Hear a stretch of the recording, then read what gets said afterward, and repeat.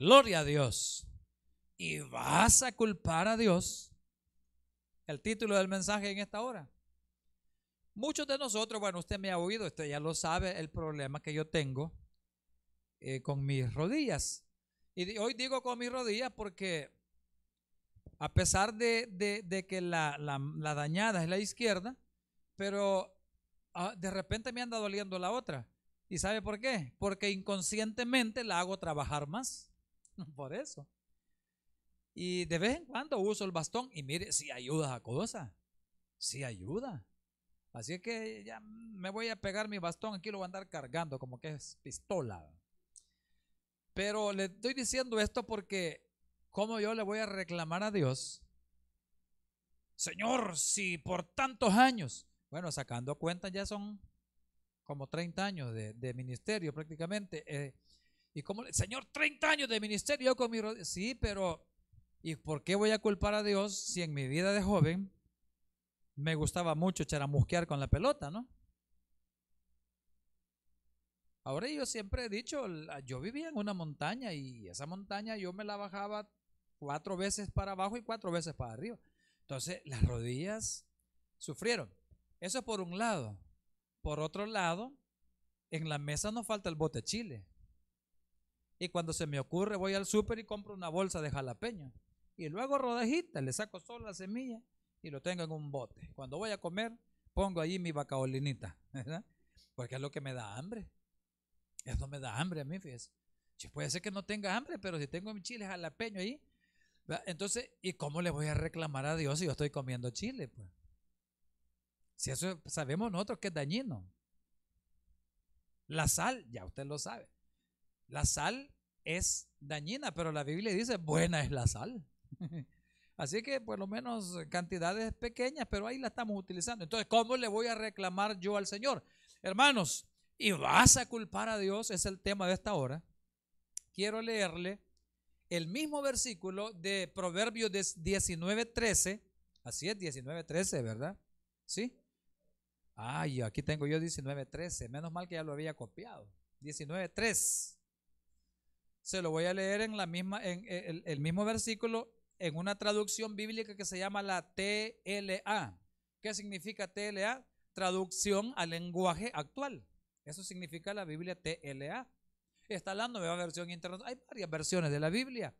Y estas son bonitas porque se lo dicen con un vocablo actualizado. Y mire lo que dice la traducción TLA, traducción al lenguaje actual. Dice, el tonto fracasa en todo. Y luego dice, Dios tiene la culpa. ¿Va? Ahí está. En la traducción TLA. El fracasa, eh, dice, el tonto fracasa en todo. Y luego dice, Dios tiene la culpa. Esto, hermanos, de que los seres humanos culpamos a Dios no es nuevo. Usted se va a dar cuenta desde el principio, desde Adán y Eva. Usted quizás no le ha puesto atención, pero Adán le echó la culpa a Eva. Le dijo, Señor, si es que yo estaba tranquilo aquí en el jardín del Edén. Yo estaba feliz. Yo estaba, la pasaba tranquilo, sin presiones. Pero como a ti, Señor, se te ocurrió darme una mujer, entonces le echó la culpa a Dios. Ahora pues, estamos todos desgraciados. Eso le quiso decir, ¿verdad?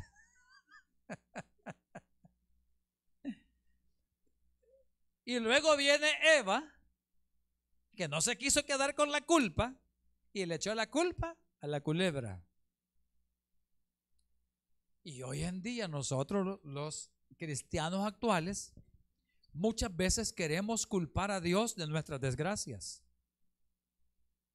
de lo que nos pasa, y por eso muchos huyen de las iglesias, migran de las iglesias. Es que yo creí que en la iglesia me iba a sanar. Y peor me fue. ¿Sabe una cosa, hermano? La voluntad de Dios no es que todos sanemos. La voluntad de Dios es que todos podamos estar en su presencia. Es que yo creí que en la iglesia este, eh, iba, a iba a haber solo gente en calidad solo gente espiritual, solo gente de bien. Y me doy cuenta que solo hay hipócritas en la iglesia. Y por eso huyen y se van. Y sabe una cosa, todos los que estamos en la iglesia, y me voy a poner yo de, de bandera, todos, ya lo he dicho, todos tenemos un grado de hipocresía. La risita hipócrita, ¿cuál es? Cuando usted encuentra a alguien una risita hipócrita, ¿cuál es? Mano José Luis, ¿se la puede? Y con la boca prensada, una risita hipócrita. Entonces, hermanos, quiero en esta hora hablar de estas cosas que, que nosotros le echamos la culpa al Señor, a Dios. Y número uno, el problema es de nuestras desgracias, es que nosotros, para todo lo que vamos a hacer, muchas veces y por no decir siempre, no tomamos en cuenta a Dios. Dice el Proverbios capítulo 3, versículo 6 reconócelo en todos tus caminos y Él enderezará tus veredas. Cuando dice reconócelo, lo que está diciendo es tómalo en cuenta en todos tus caminos, en todos nuestros proyectos, en todas nuestras metas, en todos nuestros negocios. Sacan unas postales en, las redes sociales que ojalá que sean verdad, que aparece un hombre con su carrito de venta de panes o su canastito lleno de dulces y cuando va a comenzar la jornada aparece de rodillas con las manos levantadas hacia el cielo y dice, esta es la clave del éxito. Ojalá y así fuera.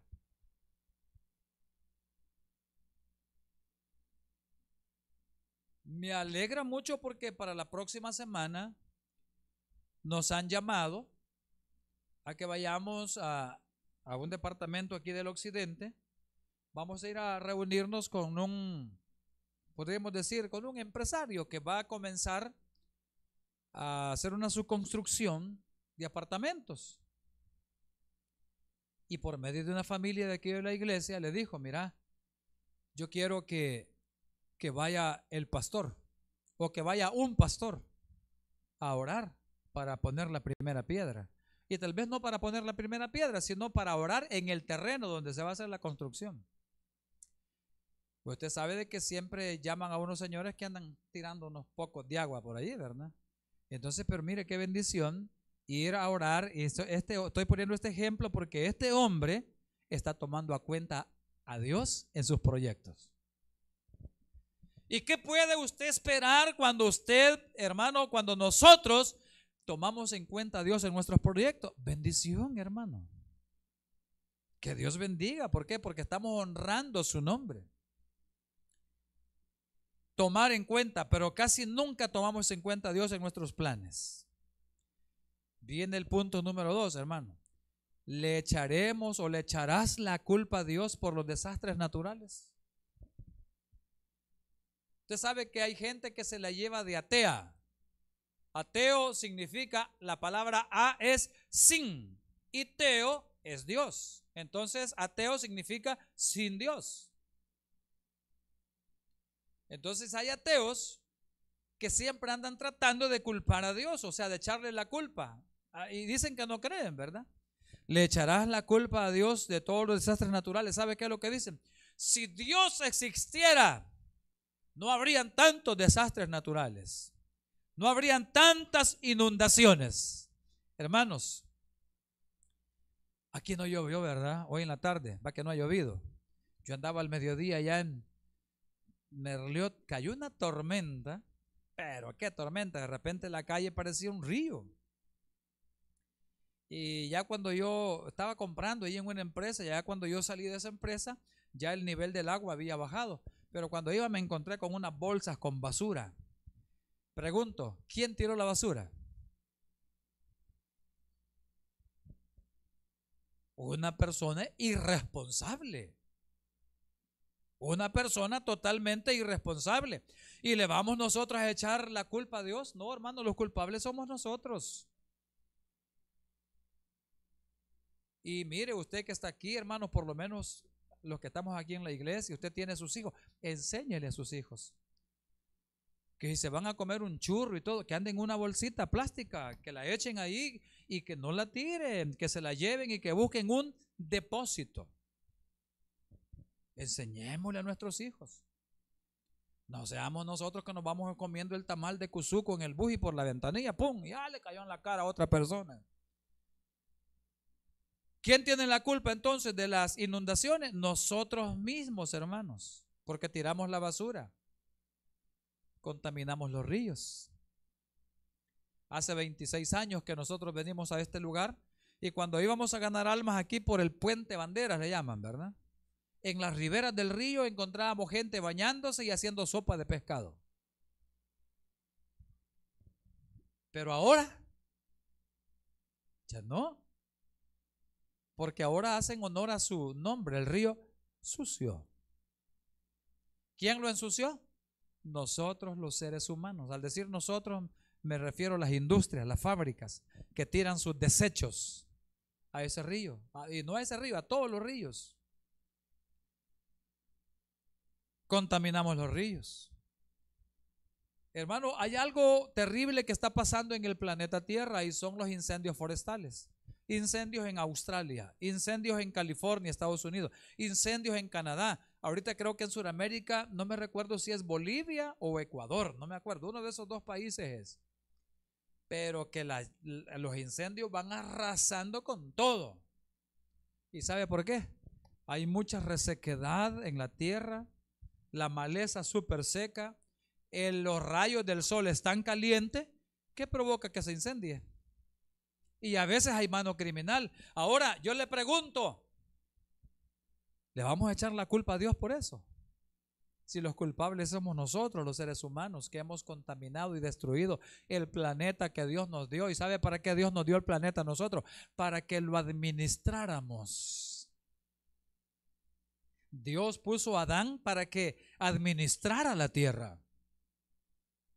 Pero los seres humanos la hemos destruido y le vamos a echar la culpa a Dios por todo lo que está sucediendo.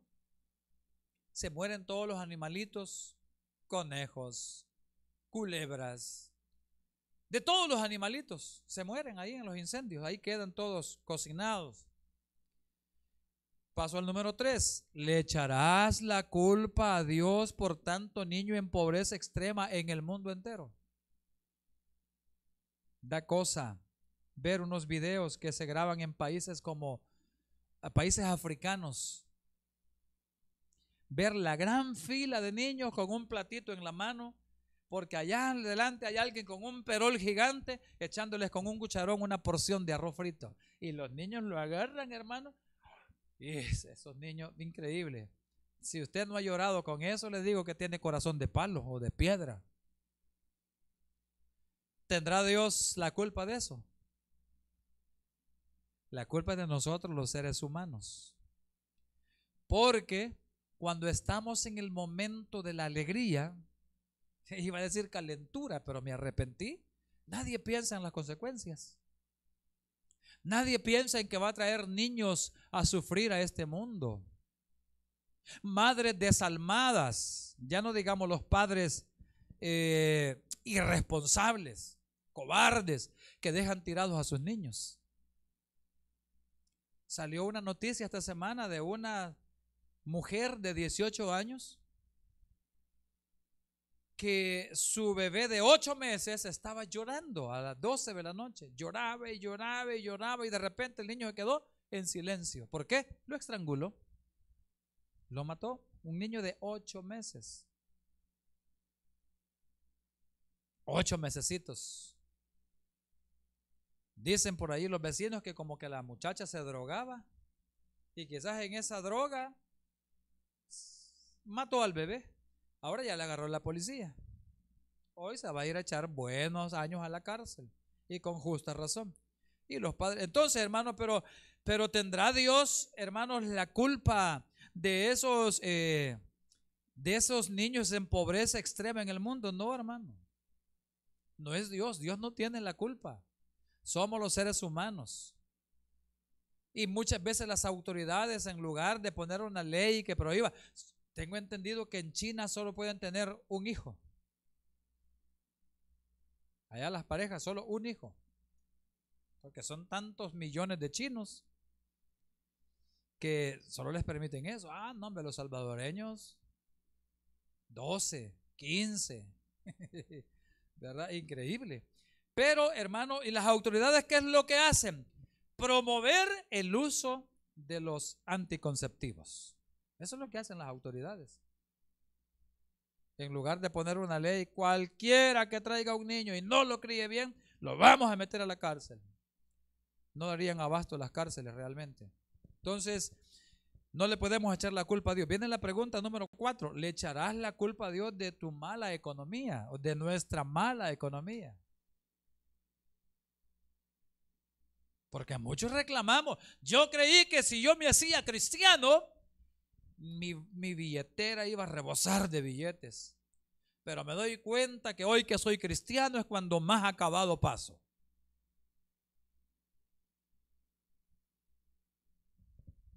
Hermano, pero ¿sabe cuál es el detalle de la mala economía? Porque muchos de nosotros queremos llevar una vida de apariencias. Y mire cómo son las cosas. Usted en el Facebook, en las redes sociales, va a encontrar algunas personas conocidas. Unos rostros intachables. Qué bonitas las caras, hermano. Bien lisita, los ojos bien, las pestañas bien colocha. Qué hermosa mujer. Pero encuéntrasela en persona. Y le digo que se va a asustar. Porque queremos vivir de apariencias. ¿Verdad? No, hombre, mejor se, podía, se debería de poner como la descarnada, ya cuando la vean en persona, ah, pues no era tan fea, ¿verdad? Pero es lo contrario. Entonces, queremos vivir de apariencias, hermano. ¿Sabe por qué nuestra mala economía? Porque gastamos más de lo que ganamos. Por eso es que pasamos mal. Y le estamos echando la culpa a Dios. Ah, es que yo no, yo por eso no voy a la iglesia, porque hoy más acabado paso. Hoy más endeudado, endeudado estoy. Aparentamos, hermano, hay gente que cuando va a un almacén o al supermercado, abren sus carteras, nombre hasta como 10 tarjetas en fila las tienen bien guardaditas. Y se creen poderosas, ¿verdad? Y miran de menos al otro. Y salen con unas carretillas hasta encopetadas de comida. Y usted dice, que galán, dice usted. Y yo apenas 10 pesos voy a gastar. Porque, pero eso es suyo, es lo que usted trae de verdad. Y usted no sabe que esa gente se está endeudando lleva 200 dólares en la carretilla, pero no sabe usted que eso lo lleva fiado. Entonces, por eso es que estamos mal, hermano, en la, en la eh, eh, digo, en la carretilla, en la economía. Porque queremos aparentar con un montón de tarjetas. Porque andamos fiando por todos lados, hermano. Queremos fiar una pantalla.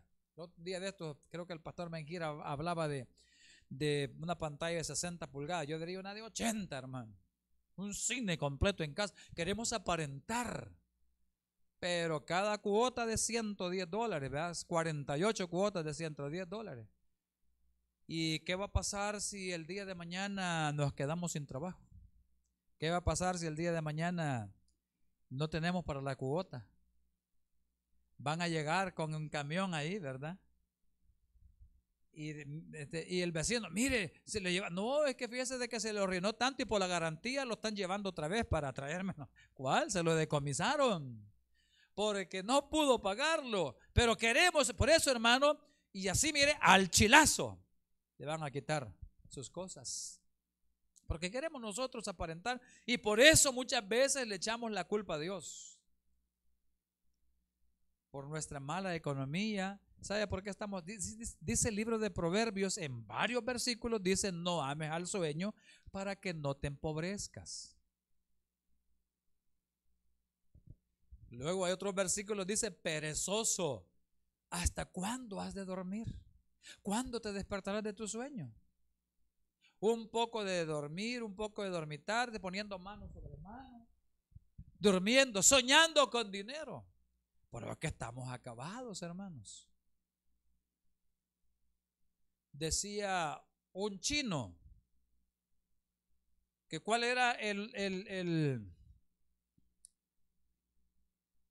el, el secreto de su riqueza. Y decía él, el secreto para la riqueza es que cuando uno tiene su tiempo libre, en lugar de estarlo perdiendo el tiempo, se educa. Se está educando. Y el otro está perdiendo el tiempo, viendo el celular, viendo esto, viendo lo otro. Entonces esa persona nunca va a llegar a nada. Si nosotros somos personas que amamos el dormir, ay, hay que tener que levantarse a las 7 de la mañana. No, hombre, es mi primer sueño de la noche. Nunca vamos a progresar, hermano. Por eso es que nuestra economía está mala. Porque se necesita el sacrificio. Entonces la palabra dice, porque el que ama el sueño le hará vestir vestidos rotos. Y le, hará desear todo. Ay, yo quisiera un mi plato de camarones. Ay, yo quisiera esto, yo quisiera un par de zapatos. Si usted trabaja fuertemente, se los va a comprar.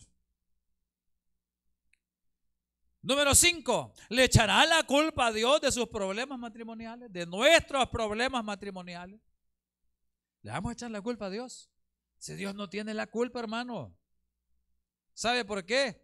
Cuando le consultamos a Dios que queríamos que nos dijera el Señor si esa mujer era para mí, o si la mujer dice si ese hombre era para usted. ¿Cuándo le consultamos a Dios? Nunca. Lo que pasa es de que nos enamoramos nada más de vista.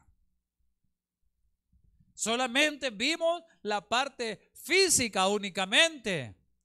Pero no sabíamos si la muchacha podía estrellar un huevo. Y sí puede, pero en, el suelo. Pero si no puede ni freír un huevo. Si pone a cocer agua, ¿qué le pasa, hermano? Se le quema el agua. Y luego venimos nosotros, la tusqueamos, la agarramos y después, ay Señor, yo no sé por qué permitiste. Si no me consultaste, dice el Señor. Usted se consiguió un hombre penqueador. ¿Por qué no le preguntó? Ah, no, es que a mí me gustaba ver tamaños ñeques, ¿verdad? Bien cholotón, el viejo y todo. Entonces, eso me gustó. Sí, pero no preguntó que los había echado de tanto golpear a las mujeres. Y ahora venimos y le echamos la culpa a Dios. Que esta mujer no puede coser, que esta mujer no hace esto, que esta mujer no hace lo otro, que este viejo no sirve, salió como aguacate podrido, pero nunca le consultamos a nuestro Dios. Y ahí están los resultados problemas matrimoniales y le estamos echando la culpa a nuestro Señor. Hermano, no, la culpa es nuestra porque no le pedimos la dirección a Dios. Y los que están jóvenes y solteros aquí tienen esa oportunidad. Tienen esa oportunidad de, de pedir la dirección de Dios para que no vayan a fracasar en sus matrimonios más adelante. Quiero ir finalizando con esto. ¿Le echarás la culpa a Dios por tanta tragedia en el mundo. Decían los escépticos, les decían aquellos enemigos de Dios, si Dios existiera, no hubiera pasado los atentados terroristas del 11 de septiembre del 2001. No hubiera pasado eso si Dios existiera. ¿Cuánta gente inocente? Murieron más de 3 mil personas en esas torres, según tengo entendido.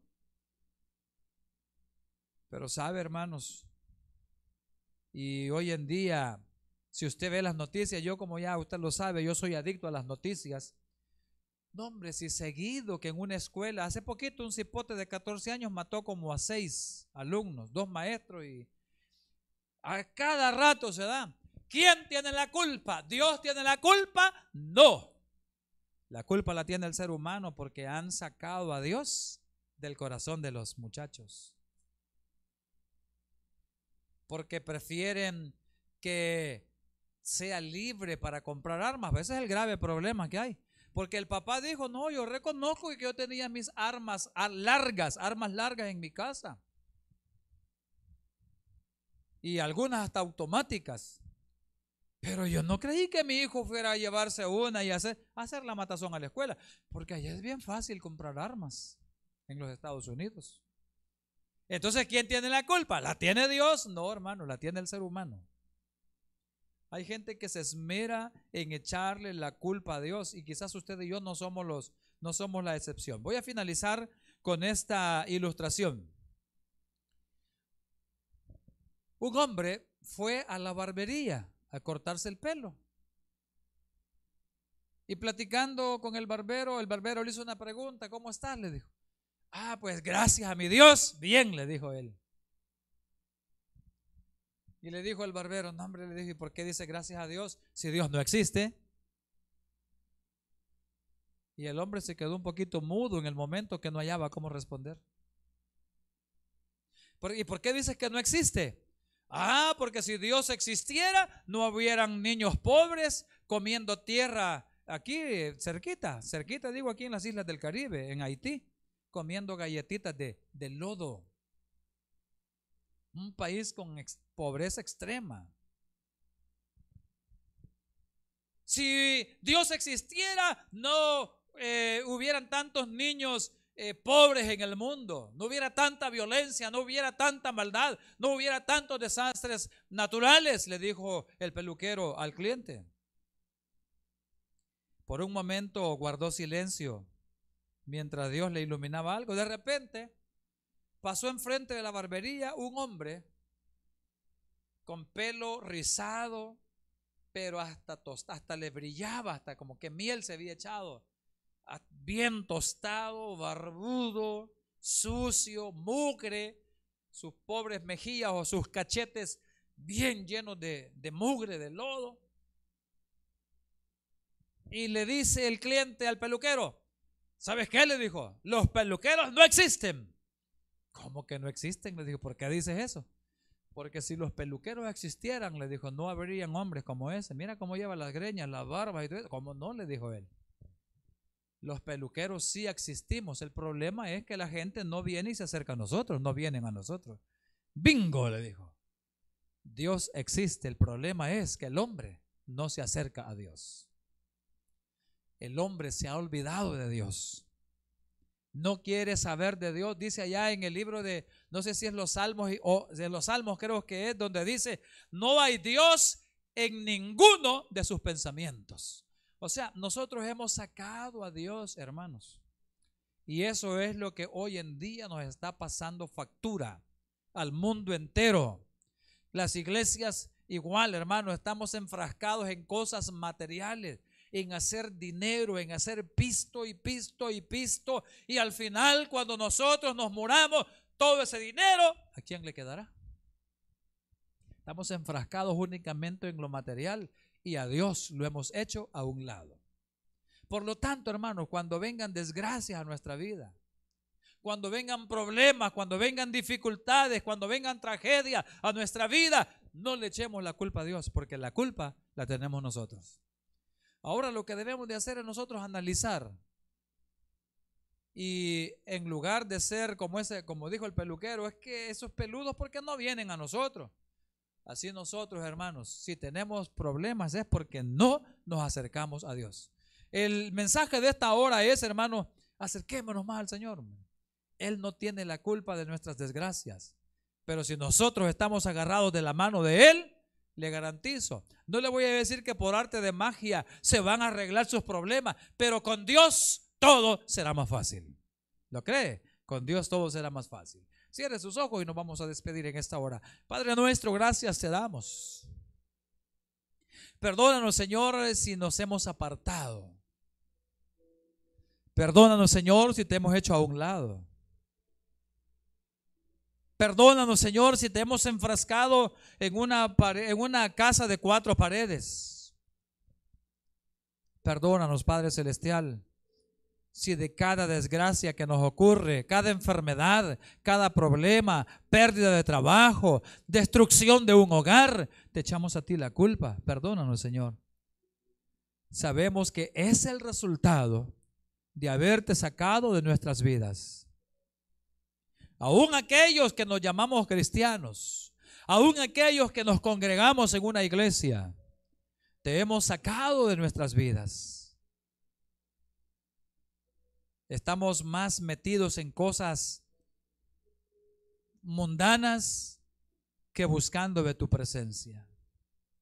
Ayúdanos, Señor, a ser diferentes cada día. Bendice tu pueblo en esta noche. Yo quiero preguntar si aquí en medio nuestro hay alguna persona que nunca ha recibido a Cristo y quisiera hacerlo en esta hora. Hoy es el momento aceptable. Hoy es el momento de salvación. Usted puede entregarle su vida y su corazón a Jesucristo esta noche. Póngase de pie, levanta su mano. Entréguele su vida al único dador, al único camino verdadero, al único Dios verdadero, a Jesucristo nuestro Señor. Levante su mano, póngase de pie. Entréguele su vida a Cristo Jesús. Padre bendito, gracias te damos. Pedimos en esta noche, Señor, que nos despidas en tu paz. Gracias por habernos permitido meditar un poco en tu palabra.